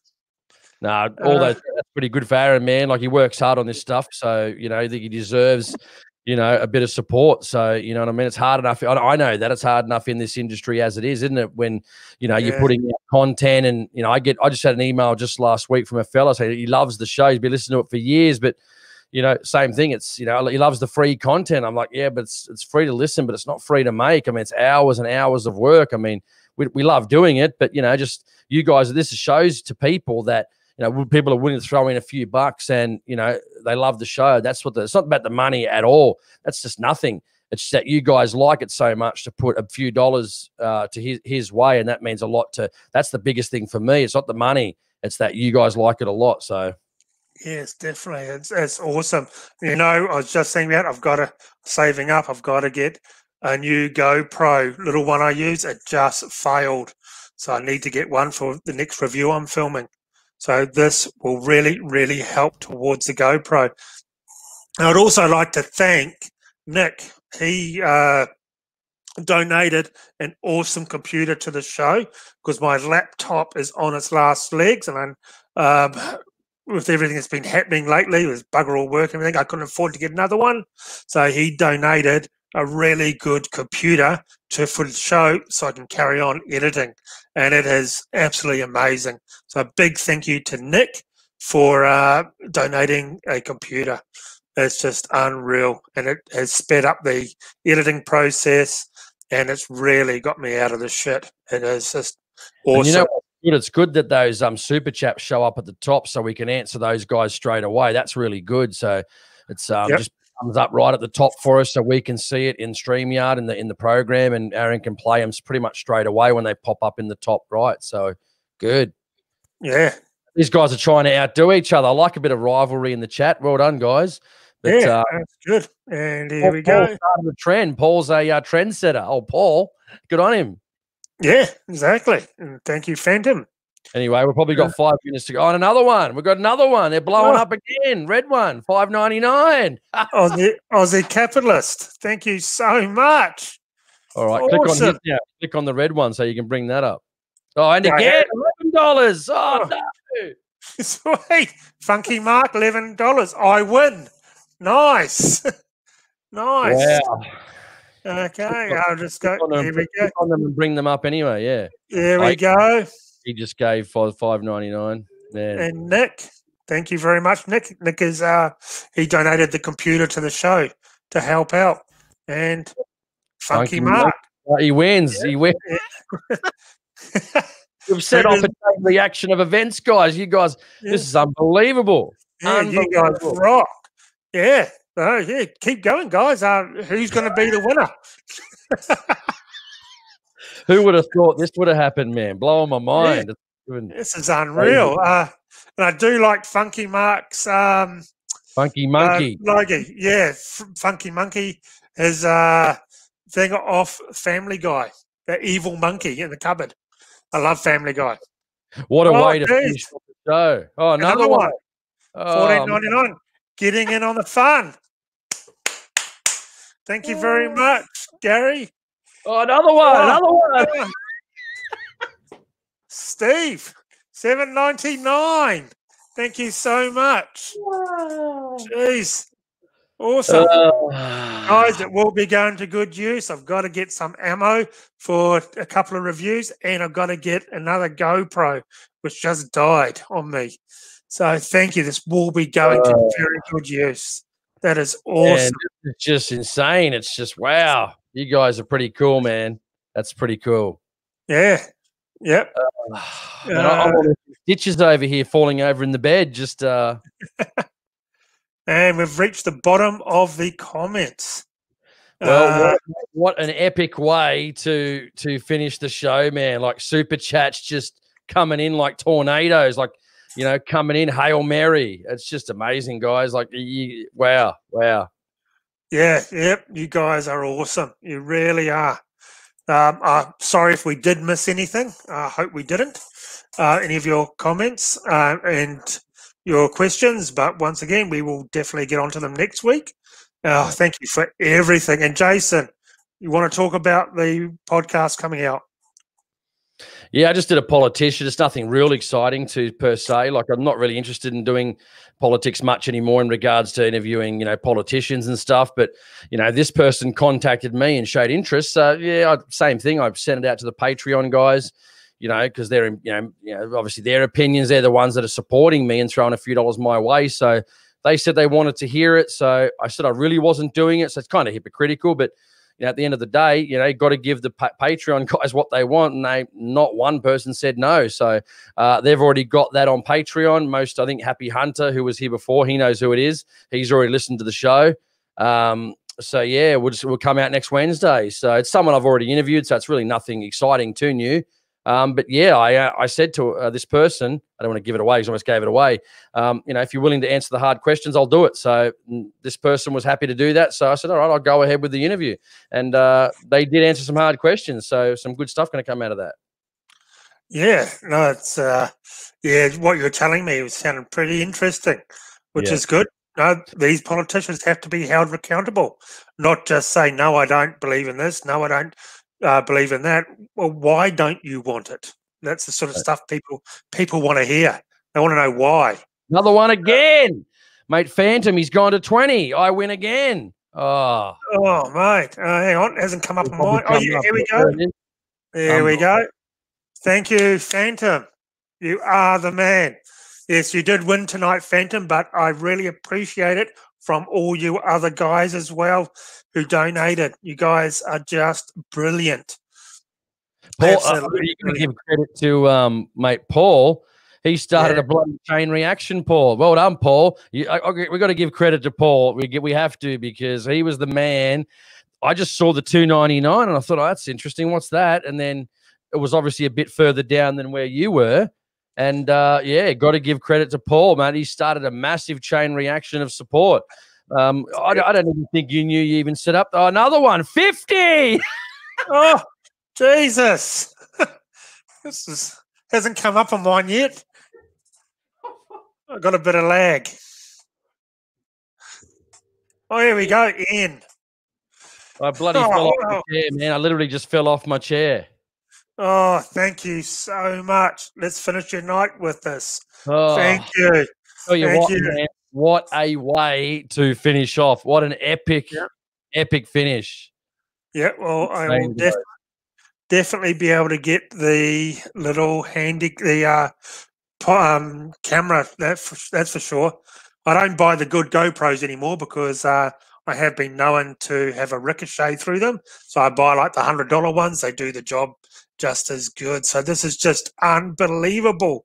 Man, I feel like I'm in a telethon back in the 80s. We're ringing up. Hey guys, uh, yep, could I put you down for a 30? Could I put you down for a 20? exactly. Mate, Paul, we, we might just uh, give uh, a gift voucher to Paul for starting off a massive chain reaction. Unbelievable, Paul. We've got to give you credit, mate. You've uh, you've started yeah. off chain reaction. I guess people mustn't mustn't have seen it, or I don't even I didn't even know we could even do that if it was even set up. Anyway, yeah, yeah. No, I never really because I've had all the problems with YouTube, especially and also on the new the new channel after they deleted my first channel, and uh, yeah, all this monetization stuff and demonetizing a lot of my videos. But what they've started doing now is demonetize, saying they're not demonetized, they're just restricted. So you may get some money, but you may not get some money, and they're not telling you. So they've from they've stopped us purely cutting you off, but they don't tell you if you are or how much, or maybe every fifth um, view may go towards monetization. So you sort of want to keep the ads on just in case you can get something back at least to go towards the ammo and equipment. So yeah. it's uh, and like, so don't get into a bidding war, guys. You know, we just appreciate. I mean, like, yeah, Aaron works hard on this man, and you know, just tries to do his best, and yeah, often comes out of his own pocket. We both know what it's like, and you know, yeah. like you get a bit emotional sometimes when guys are throwing like a few dollars at you that you just it just it just proves it's not the money. It just proves that you know it's actually worth something. That that's that's the most thing. Like I don't I couldn't give a care about the money. I care about that people are willing to say, mate, this is awesome enough to throw some dollars behind it. You know what I mean? When you could watch it for free. But like I always say, it's free to watch, but it's not free to make. And um, you know, I'm just here to help Aaron out. I don't expect any money from this. I'm just here to help him out and you know, have, have banter with you guys because it's uh, it's fun, you know. So yeah, oh, so this has been amazing. What a way to finish off, dude! What a way to finish off! Like you, wow, yeah. crazy. Yeah, this is unreal, absolutely unreal. And you guys, I always said, I got the best fans and the best viewers, and you guys make all this worthwhile. Whenever I get a bit down and thinking, oh, you know, I don't get many views on this video, I just read some of the comments, and even on the videos that don't get many views, just amazing. It truly is amazing. Uh, you guys are the best. Anyway, so we've got two minutes. We'll finish off about eight forty. We've got a couple of minutes. Anything to finish off? You reckon? I mean, probably uh, to you know subscribe to the show. Obviously, um, yeah, know. exactly. And uh, it will just flick through. There's not really many more. I like Rob. Click that next one. Let's start our own political party. Yeah, mate. You know, you'd be surprised. Yeah. Actually, I've had uh, quite a number of people um, from some interesting parties messaging me just recently, even as much as yesterday, saying, you know, I should be running. Why don't you consider putting your hand up? And I said, man, like I haven't got time for that. I've got a full time job, you know. But like, you know, I think I'd be, you know, a pretty decent advocate. So, you know, I know my stuff. I know how to talk. You can't back me into a corner and get me to say things I don't believe in. So, yeah, yeah. but anyway, interesting. It's been good, guys. Um, you know, tell your friends, share the video. That's another good thing. Get it out there on the internet, mate. Yeah, what guys. a time to have a bit of fun with each other. Yeah, I mean, just, just talking shit, answering questions, having a laugh. That's what it's all about. Exactly. I get asked a lot, why don't you start a political party? Some of them from real pricks who know just trying to have a dig at you when you give your opinion. But as I always say, I can't. A, I have morals, and B, I'm too honest. I can't I can't sit there and blatantly lie and bullshit to people's faces, especially getting paid by the taxpayers. So I just can't be a politician. I'm too honest, and I have morals and I have self respect for myself. So I um, definitely can't be a politician. Can you believe the super chats tonight? That's just man. I was on. You saw me, guys. I was literally like having stitches on the ground at one stage. Yeah, and yeah, no, it's good. I'm already a One Nation member, though. That's good. Pauline Hanson, she's had her ups and downs with firearms, but yeah, she, at least she's not saying ban everything. That's for mm. sure. Uh, anyway, we'll probably finish off. I think, mate. I think yeah. and I think I'm going to have a good bloody sleep tonight. That's for sure, based on what we just saw. Um, you know, coming through on super chats, man. I just, man, it, wow, wow. It, it, we'll finish off with Paul. Yeah, see, uh, Paul because he was the cat. Whoever I didn't even see it. Who would have thought? Who would have thought? Yep, Paul. Anyone else sort their rifles in the gun safe by caliber order, or just stuff them in? Yep, We're left to right, 300 Win Mag, 260, 243. Then I've got the seven mil mag because that's my hunting one. So I know the three heavy barrels are there. Then I've got the seven mil. Then I've got the 22 um, uh, T1X. Then I've got the 22 CZ and then the two shotguns. So yeah, man, we're a bit crazy, dude. I'm a bit OCD where Aaron's a bit, you know, I agree with um, Aussie capitalists. Stuff them in like a Bombay hooker. yeah, definitely. Yeah, that'll do it. Because wherever wherever there's a gap, I just stick it in pretty much, and they are safe as long as they're not getting too damaged up. But yeah, no, I don't actually go to those links. I got to admit. Yeah. Yeah. Well, thank yeah. you very much, guys. Thank you so much for tonight. And thank you for everyone who donated in the super chat. You guys are the best. So please hit that subscribe button, uh, like this video, and share this video. So every video I make, if you could just share it on Facebook and Instagram, that's what really gets the word out, and more people will watch it. More people watch it, the numbers go up, and they get shared in the um, preferred videos on YouTube let me say one thing. I mean, that video, you got to think about it. That seven gun ban video, 16, almost 17,000. That's 300% up on your subscriber base. I mean, he's got what, five and a half thousand? That's yeah. 15, that's three times, that's 300%. I mean, that's, that's crazy. It's good. Yeah, definitely. And, uh, and once again, you can find us on Patreon. Jason has Patreon as well, and so do I. So I'll leave all our links down below when I, this video comes out tomorrow morning, and you'll be able to click on and have a look at what else we do. So thank you very, very much, guys, and thank you so much from the bottom of my heart once again, guys, for these super chat. You, I got to say, you're definitely the best, and I will definitely be looking forward to seeing you guys next week. So have a good and safe weekend and a good week at work, and we'll see you next Thursday at seven o'clock. Catch ya.